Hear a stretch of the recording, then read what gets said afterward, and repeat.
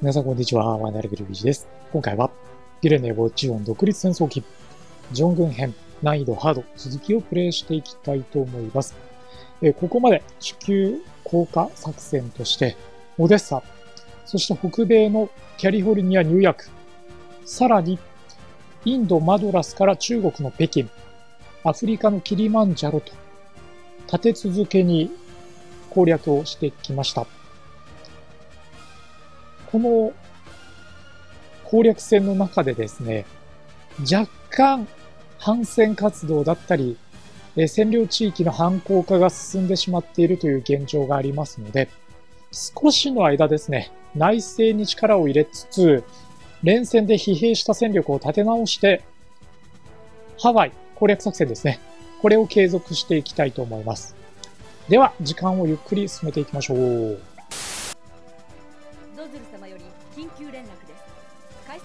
えドズルから緊急連絡が入っています。確認しましょう。兄貴、シャアが V 作戦を捕まえた。シャアの報告を聞いてくれ。は報告いたします。我々調査部隊はサイドセブンにおいて連邦の V 作戦、すなわちモビルスーツの開発、それに伴う心臓戦艦を同時にキャッチしたのであります。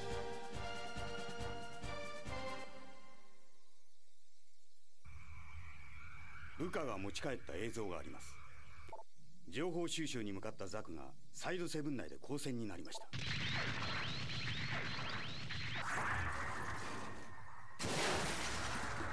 連邦のモビルスーツは信じがたい能力を持っているようです。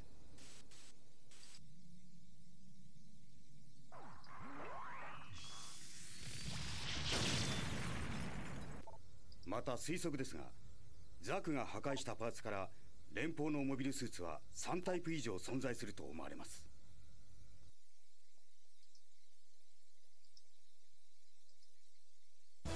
兄貴見ての通りだ。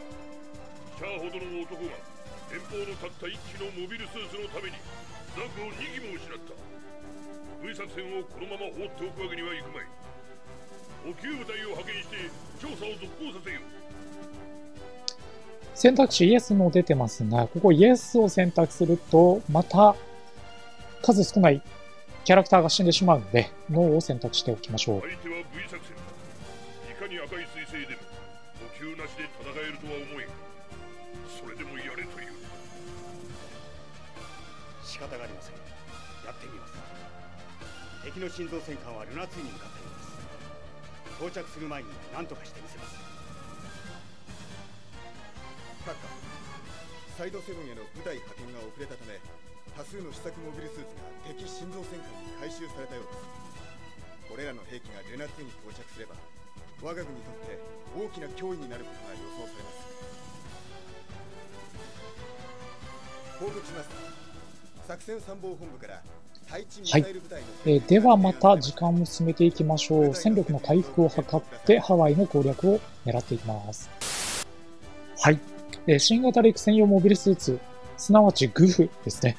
これの開発提案が来てますので、開発しておきます。ザク陸戦タイプに次いで、量産をしていきたいと思います。えさらにズゴックですね。えこれの開発提案来てますので、ズゴックの開発も行っていきます。えその他で言うと、高機動型ザックの再設計ですね。これもやっちゃいましょう。地球の主戦力、特に宇宙ではね、これを使っていくことになると思います。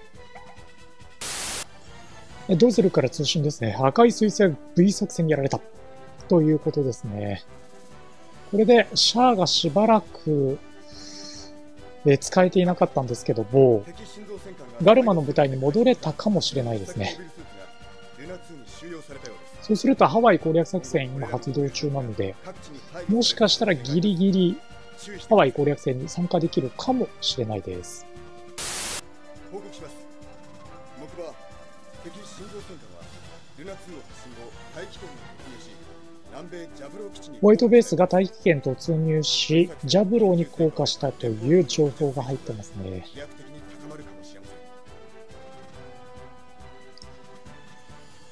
V 作戦によって連邦の技術が上がることはまあ、致し方なしという判断ですね。パイロットの温存を考えた結果です。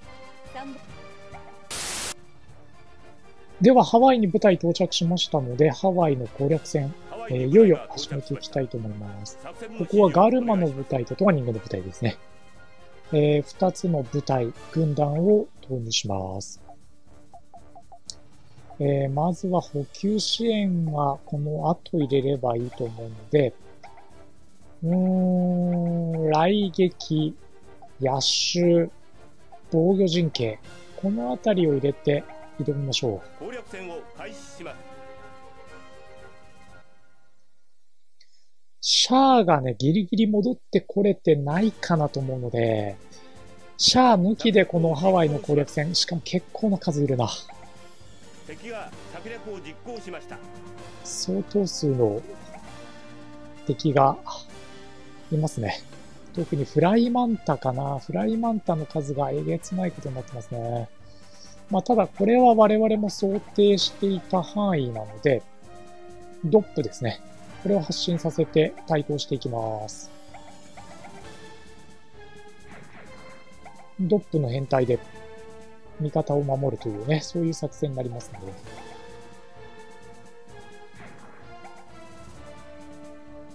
では、舞台を展開していきます。では、舞台展開しました。敵に近い位置にはドッブの変態を編成して、味方のファットアンクルを守るというね、そういう陣形を組んでいます。まず上陸しっかりできれば、モビルスーツはあまり敵いなそうなので、主にミデア、えあとはフライマンタとボシキエというところなので、十分に、え今展開している部隊で倒せるかなと思います。ただ97か。敵もかなりの数が出てますね。フライマンタがどれくらい持ちこたえられるかだ。ん？違う違う。ドップがどれくらい持ちこたえられるかですね。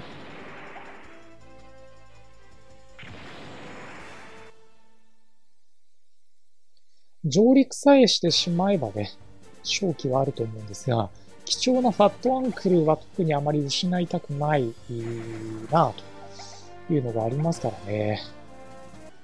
それでは敵の航空隊と戦闘に入ります。ちょっと数が思ったよりハワイ増えてるので、そこが苦戦をする可能性がある懸念点になりそうですね。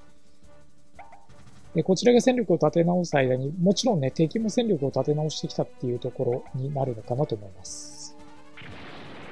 え現在、戦線が大きく2つに分かれてますね。ハワイ島の、まあ、北部と南部で戦線が分かれているような状態です。で、敵はですね、北部に主に戦力を割いてきているので、当然北部の方が激戦になってます。逆に言うと、南部が少し手薄になっているようなので、南部の方からですね、部隊を上陸させていきたいと思います。これ、うまく上陸ができればですね、えー、少しは北部戦線も楽になってくるかなというのが期待できますので、なんとかね、部隊上陸させていきたいと思います。ハワイの戦況なんですが、うーん、ちょっと厳しい情勢になってきてますね。というのも敵の数が多すぎてですね、えー、島に上陸する前にかなりの戦力を失っています。今回投入したのが、北米のキャリフォルニアベースからガルマとトワニングの部隊、これを出したんですが、これだけだとちょっと足りなかったと思います。なので、ちょっとですね、作戦を変更して、北京を攻略した部隊、えー、具体的にはコンスコン、あるいはギレン、このどちらかの部隊をこのハワイの戦線に投入しないと、んちょっと厳しいかなと思いますので、えー、残念ながらですね、ちょっとここは一旦敗退ということで、時間を巻き戻して再チャレンジ、えー、していきたいと思います。ちょっと今残っているこの戦力だけでは、ハワイの攻略が難しそうですね。ここにいるのはもしかしてプロトタイプガンダムじゃないか。そうですね。えー、ガンダムもいるし、ガンキャノン、ガンタンク、上陸してからもまだまだちょっと敵が多いなというのと、ミディアの数もいるし、まだフライマンタも相当数残ってるので、そうですね。ちょっと戦力立て直してやり直したいと思います。なので次回はハワイ攻略リベンジで、えー、始めていきたいと思います。